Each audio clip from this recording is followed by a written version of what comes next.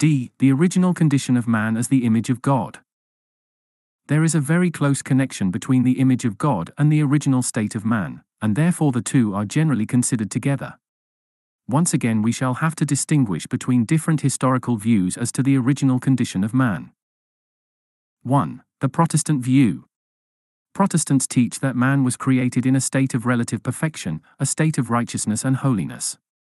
This does not mean that he had already reached the highest state of excellence of which he was susceptible. It is generally assumed that he was destined to reach a higher degree of perfection in the way of obedience. He was, something like a child, perfect in parts, but not yet in degree. His condition was a preliminary and temporary one, which would either lead on to greater perfection and glory or terminate in a fall. He was by nature endowed with that original righteousness which is the crowning glory of the image of God, and consequently lived in a state of positive holiness the loss of that righteousness meant the loss of something that belonged to the very nature of man in its ideal state. Man could lose it and still remain man, but he could not lose it and remain man in the ideal sense of the word. In other words, its loss would really mean a deterioration and impairment of human nature. Moreover, man was created immortal. This applies not only to the soul, but to the whole person of man and therefore does not merely mean that the soul was destined to have a continued existence. Neither does it mean that man was raised above the possibility of becoming a prey to death, this can only be affirmed of the angels and the saints in heaven. It does mean, however, that man, as he was created by God, did not bear within him the seeds of death and would not have died necessarily in virtue of the original constitution of his nature. Though the possibility of his becoming a victim of death was not excluded, he was not liable to death as long as he did not sin.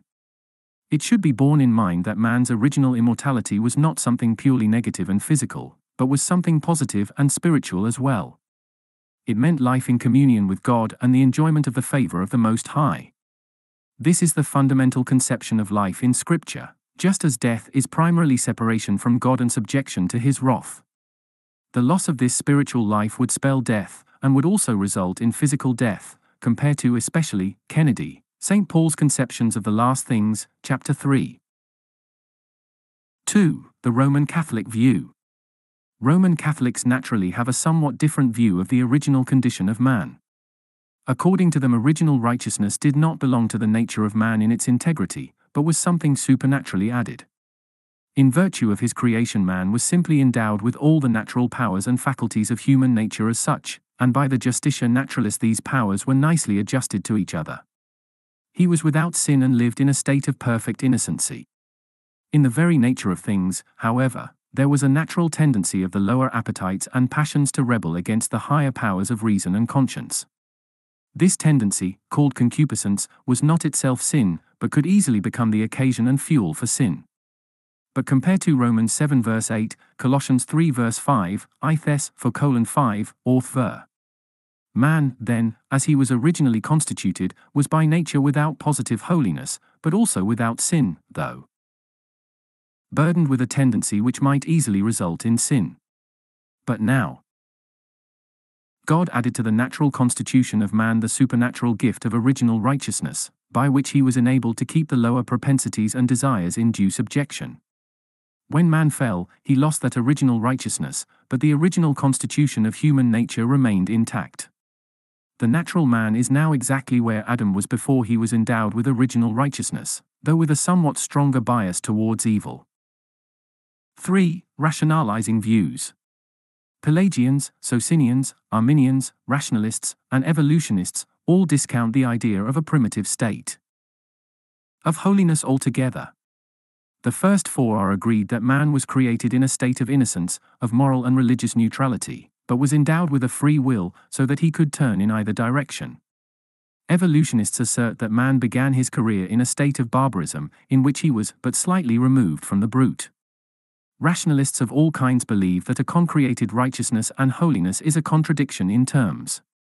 Man determines his character by his own free choice, and holiness can only result from a victorious struggle against evil. From the nature of the case, therefore, Adam could not have been created in a state of holiness. Moreover, Pelagians, Socinians, and rationalists hold that man was created mortal. Death did not result from the entrance of sin into the world, but was simply the natural termination of human nature as it was constituted. Adam would have died in virtue of the original constitution of his nature.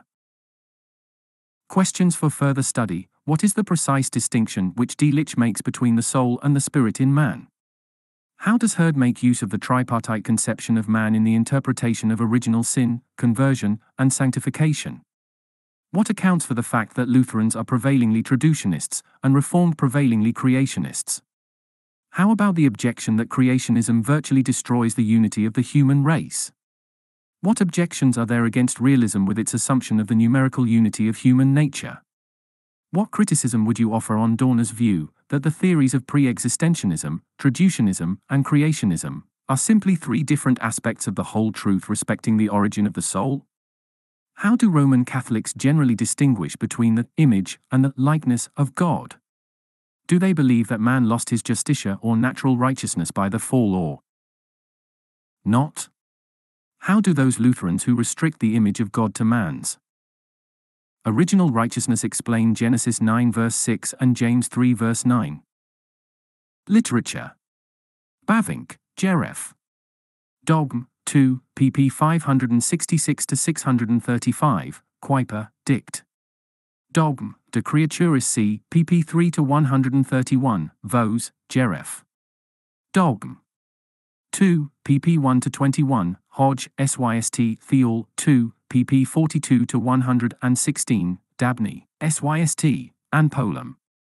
Theol, pp.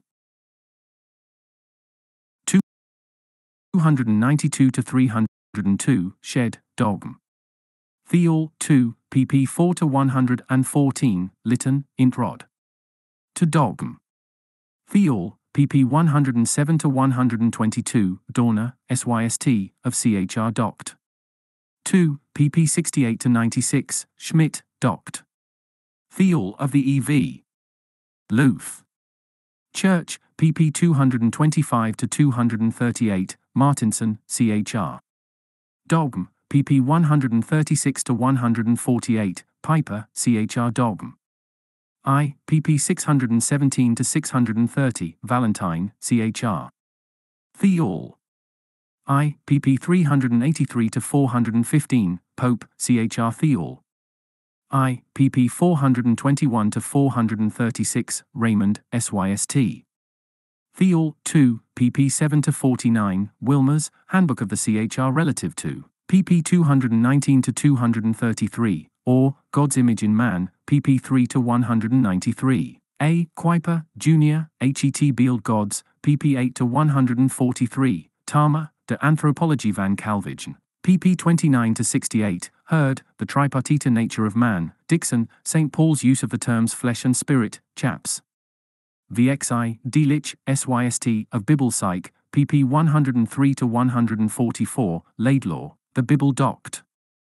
Of Man, pp 49 to 108, H. W. Robinson, The CHR.